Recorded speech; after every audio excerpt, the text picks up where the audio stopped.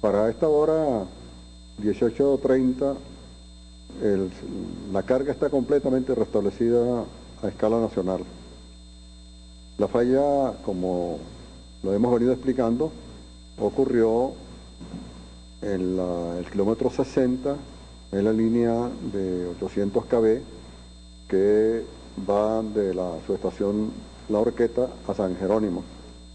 Y la causa, de acuerdo con las primeras indagaciones, la inspección aérea que se hizo de inmediato, eh, presuntamente está determinada por incendios de bosques entre las torres 342, 343, 345 y 346. Cuando ocurren incendios de magnitud, el calor que produce el incendio, las cenizas, producen un fenómeno que llaman ionización, que en este caso provocó la caída de la línea. Al dispararse los sistemas de protección, pues se transmite la situación, las interrupciones, en una dimensión que está determinada por la importancia de esta línea.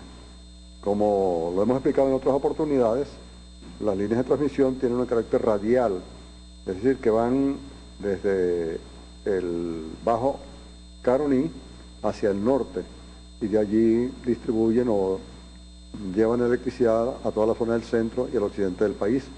Es una de las fragilidades que distingue al sistema de transmisión en Venezuela.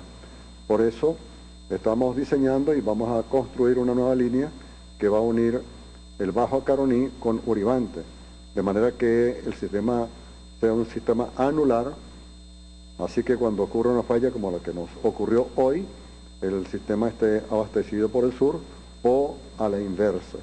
Pero eso todavía nos llevará un tiempo en hacer la ingeniería y construir una línea que tiene más de mil kilómetros de longitud. Ahora bien, como lo fuimos informando sucesivamente, la capacidad de respuesta que ha mejorado significativamente en Corpoelec permitió que ya para las 17.33 horas estuviera completamente restablecida la carga a escala nacional. Ahora bien, por razones elementales de estabilización del sistema, anuncio que será necesario hacer un racionamiento esta noche entre las 7 y 10 de la noche en todos los estados del país. De manera que entre esa hora en algunas regiones tendrán interrupciones momentáneas, pero que no tendrán una duración mayor a las 3 horas. Vamos a reducirlas distribuyéndolas en todo el país. Es la instrucción que hemos dado al Centro Nacional de Despacho. La interrupción del servicio afectó prácticamente a todos los estados del país.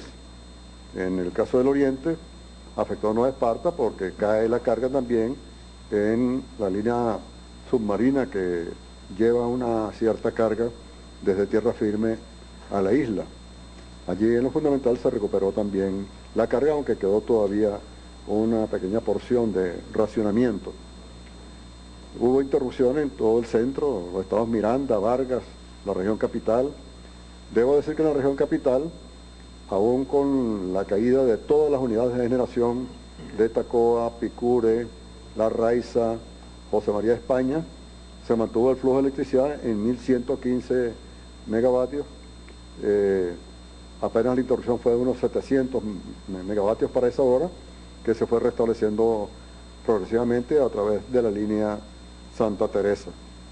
De manera pues que eh, fue una falla que se detectó rápidamente, se ubicó rápidamente, funcionaron los sistemas de protección, funcionó la capacidad de respuesta por parte de, todos los equipos de Corporec, a quienes permito, me permito felicitar, y pues la demostración que hemos tenido hoy es que producto todavía de debilidades que tenemos en el sistema y que hemos reconocido en distintas oportunidades, debilidades que se van superando progresivamente, pues la capacidad de respuesta ha sido demostrada hoy y yo felicito a todos los trabajadores de Corpoelec y del Ministerio de Energía.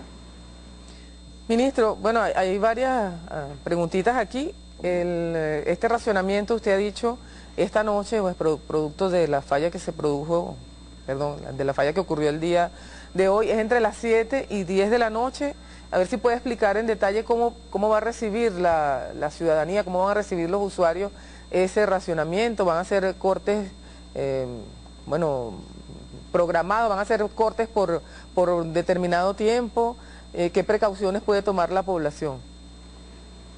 Entre las 7 y 10 de la noche de hoy habrá un racionamiento en todos los estados del país, precisamente para evitar que haya afectación mayor en una u otra región, se distribuyen las cargas en todo el país.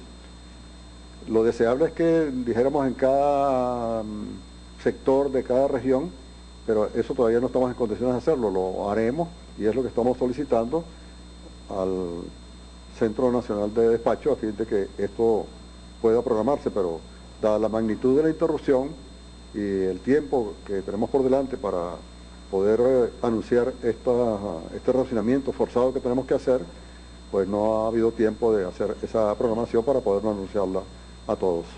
Pero lo que puedo decir por el momento es que habrá ese racionamiento en todos los estados del país en esas tres horas.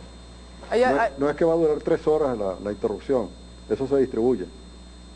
¿Hay algún protocolo de actuación o recomendación para los distintos usuarios, es decir, para las empresas, para los hogares, eh, para los servicios? ¿Hay algún tipo de, protocolo o algún tipo de, servicio de información que tenga Corpoelec o el 171 a nivel nacional? Vamos a tratar de hacerlo desde los centros de despacho regionales, pero en este momento, por la brevedad del tiempo y por lo abrupto de la situación, es difícil decir, por ejemplo, en qué urbanizaciones, en qué barrios va a haber, va a haber esa interrupción.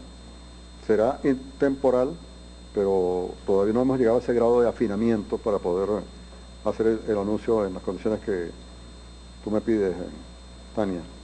Ministro, se produjo la falla y ahí eh, suponemos nosotros aquí con el desconocimiento que tenemos de la operatividad, hay un tiempo para la restitución del servicio, para reiniciar los sistemas, para que todo llegue a, tono. Suponemos que es así, usted nos los aclara.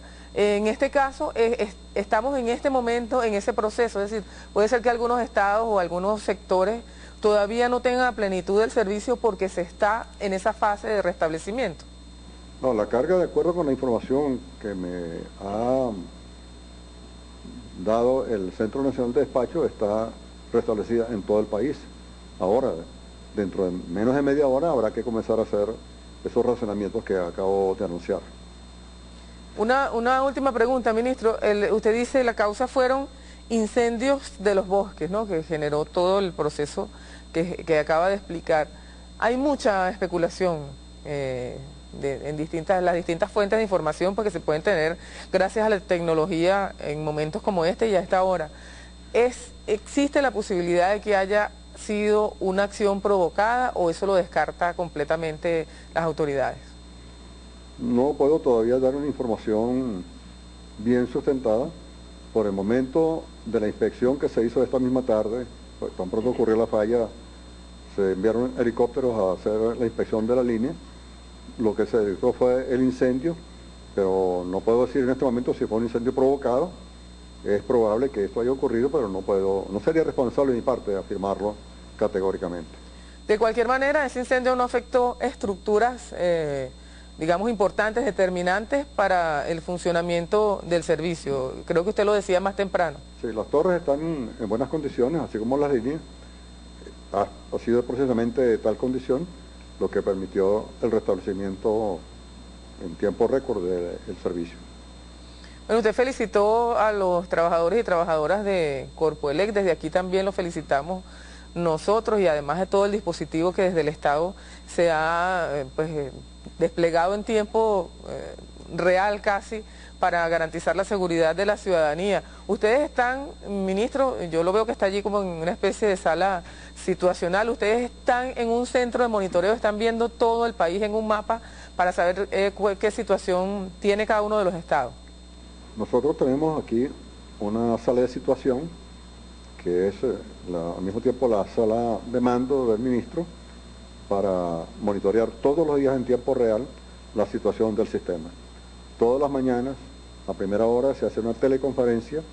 Tenemos 18 salas en el país, se están incrementando, de manera que hacemos un balance todas las mañanas de la situación del sistema, así como también las proyecciones de la demanda, la situación de la capacidad de generación, la situación de transmisión, en fin, todos los datos que se requieren para saber el estado del sistema y en consecuencia poder hacer la planificación del día.